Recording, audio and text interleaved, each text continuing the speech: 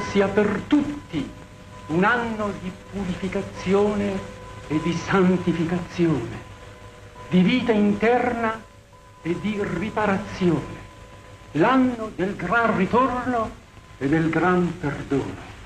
Da, o oh Signore, la pace ai nostri giorni, pace alle anime, pace alle famiglie, pace alla patria, pace tra le nazioni.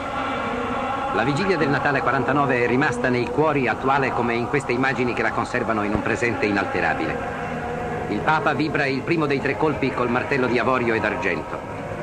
Simultaneamente a San Giovanni Laterano, come nelle altre due basiliche apostoliche, i cardinali legati chiedono, abbassando i loro martelli, Aperite mihi portas justizie, le porte si reclinano sui loro cardini, le vie delle indulgenze sono spianate, veramente secondo il detto evangelico, battete e vi sarà aperto.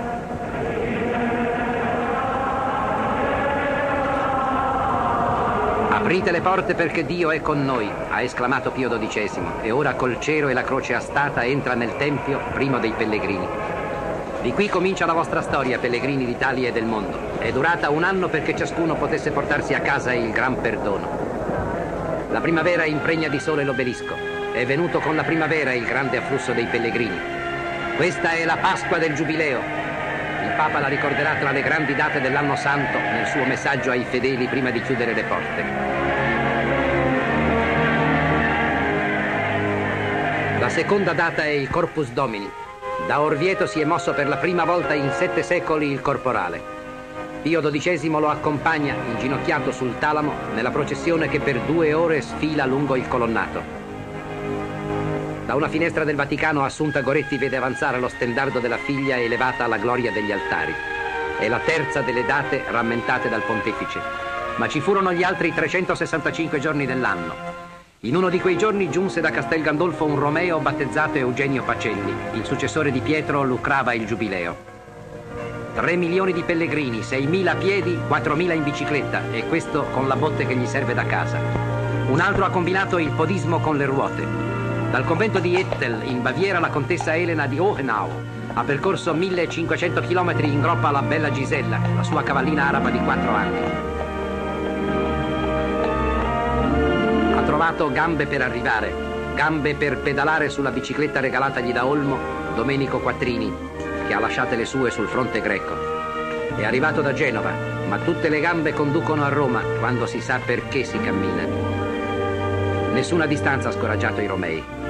Questi venivano dalla Nigeria, dal Togo, dal Camerun, con un vescovo e un re. E 400 scouts hanno portato fino a San Pietro sulle loro cornamuse gli echi dei monti scozzesi. Hanno salito i gradini della basilica le Mondariso di 18 province. Ha percorso la via della conciliazione Coblet con Bartali e gli altri reduci del Giro di Francia.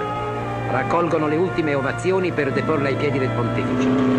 Poi la via si è riempita dell'immenso corale di 10.000 motori. Cominciavamo a domandarci con quali mezzi si pellegrinerà nei futuri giubilei. L'elicottero ha prevenuto la domanda. L'ultima data. 300.000 pellegrini per la proclamazione del dogma dell'Assunta. Nell'anno delle indulgenze, i cattolici che ogni giorno chiedono l'intercessione di Maria con l'ora pro nobis dell'Ave hanno sentito definire dalla cattedra che Maria, che la madre, è stata immune dagli squallori del sepolcro.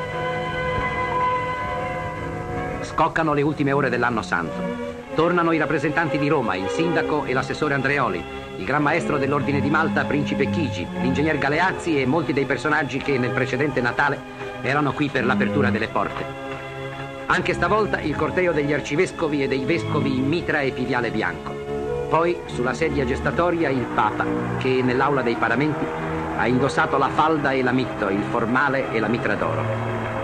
Giunto alla statua di Costantino era previsto che egli entrasse nell'atrio. I pellegrini l'hanno visto invece volgersi verso la piazza. Non tutti hanno trovato posto nella basilica e nell'atrio. E anche a questi Pio XII ha voluto che giungesse quest'ultima benedizione del Giubileo. Sotto l'atrio è alzato il trono. La cerimonia dell'anno precedente sembra ripetersi, ma cambiando il segno che era l'ora di giubilante attesa in un segno di mistica nostalgia.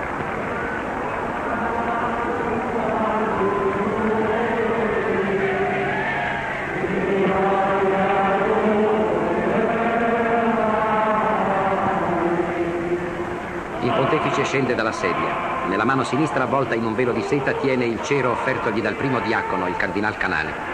Sul suo volto è un sorriso, un invito alle anime cristiane. Stanno per chiudersi le porte dell'indulgenza, rimangono aperti i varchi della speranza. E ancora una volta il sommo vicario transita attraverso le soglie che egli per primo ha oltrepassato nel giorno che spalancò le porte del regno. Raggiunge, sotto le navate della basilica, un'altra gestatoria, sullo schienale di velluto viola antico, questa mostra trapunto in viola e azzurro lo stemma di Pio IX. Dopo ricevuto l'obbedienza, il Papa andrà all'altare della confessione, si chinerà sul faldistoro, venererà le reliquie della Santa Lancia, del legno della croce e del volto santo. Poi, dall'altare del Santissimo Sacramento dove avrà adorato l'ostia, di nuovo a piedi, lieve e grave sulle scarpe di velluto rosso, raggiungerà la porta santa che ora barca ultimo dei Romei, lui il depositario delle sacre chiavi. San Giovanni in Laterano. Al cardinale Micara che fu legato per l'apertura compete il rito della chiusura. Su un tavolo ricoperto di lino lo aspettano i bacini della calce, la cazzuola. Benedice mattoni e calce. Noi seguiremo la cerimonia raggiungendola via via nelle altre basiliche apostoliche.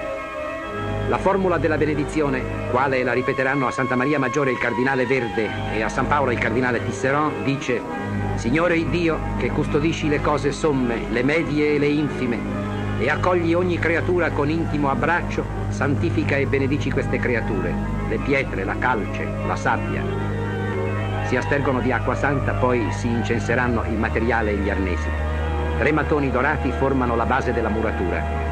Un telaio chiude ogni porta santa. In giornata i muratori compiranno l'opera.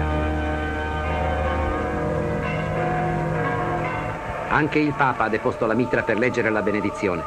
Poi, terminato l'oremus, consegnerà il cero al secondo cardinale diacono.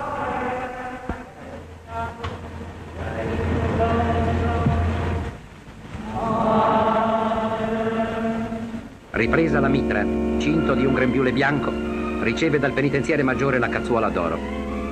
Collocherà sulla soglia i suoi tre mattoni pronunciando le parole Poniamo questa prima pietra per chiudere questa porta santa che dovrà aprirsi in ciascun anno giubilare.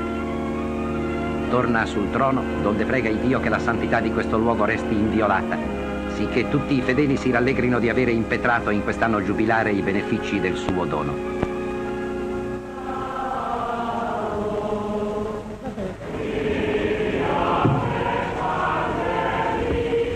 Chiusa la porta, ma non è chiusa la straordinaria indulgenza che la Costituzione per annum santum estende a tutto l'orbe cattolico per l'intero 51. Chiusa la porta. I tre colpi che tra 25 anni la riapriranno risuonino entro un mondo in pace. E così